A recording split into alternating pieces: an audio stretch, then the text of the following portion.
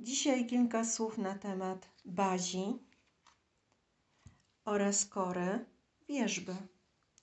Są to pierwsze pączki kwiatowe. W naszym kraju jest około 30 gatunków wierzb. Jest to bogactwo związków salicylowych. Bardzo dużo jeszcze jest, jeszcze więcej niż tych takich, co mam tutaj teraz w baziach, które są już w takiej e, fazie e, przekwitu, czyli opylonych żółtym pyłkiem.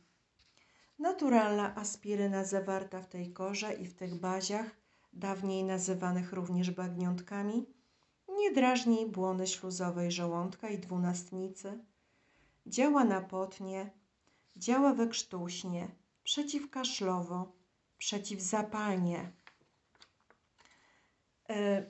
spójrzcie, zrywamy takie młode gałązki, e, łodyżki, żeby miały właśnie taką zieloną korę.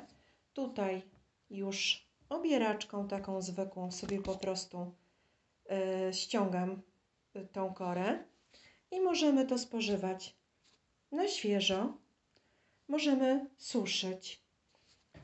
Za chwilę włożę to w papierową torebkę, położę na kaloryferze jedno i drugie oddzielnie i będzie się suszyło.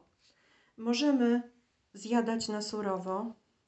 Mój mąż tak robi, że bierze jak go boli głowa, kinka po prostu sobie dwie, trzy kotki, zjada, popija wodą i mówi, że mu przechodzi.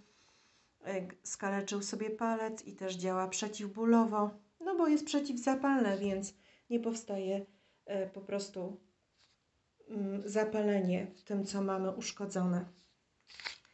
I można to ususzyć, można spożywać świeże, można parzyć.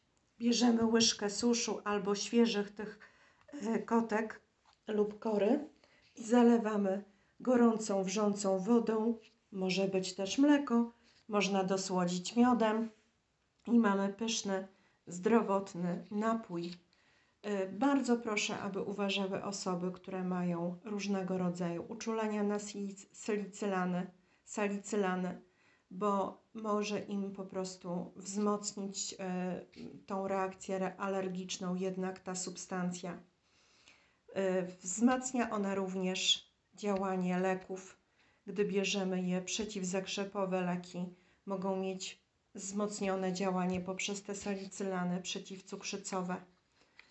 Bardzo dobre, mm, dobry produkt. E, prosty, łatwy, przyjemny w zbiorze, ładny z wyglądu. Dzisiaj wiemy już, że dzięki tym badaniom, że uzasadnione było w tradycji wielkanocnej spożywanie tych bagniątek na bolące gardło, bo po prostu te substancje zawarte w nich łagodziły ból gardła, zmniejszały chorobę zmniejszały gorączkę i tak. Korzystajcie.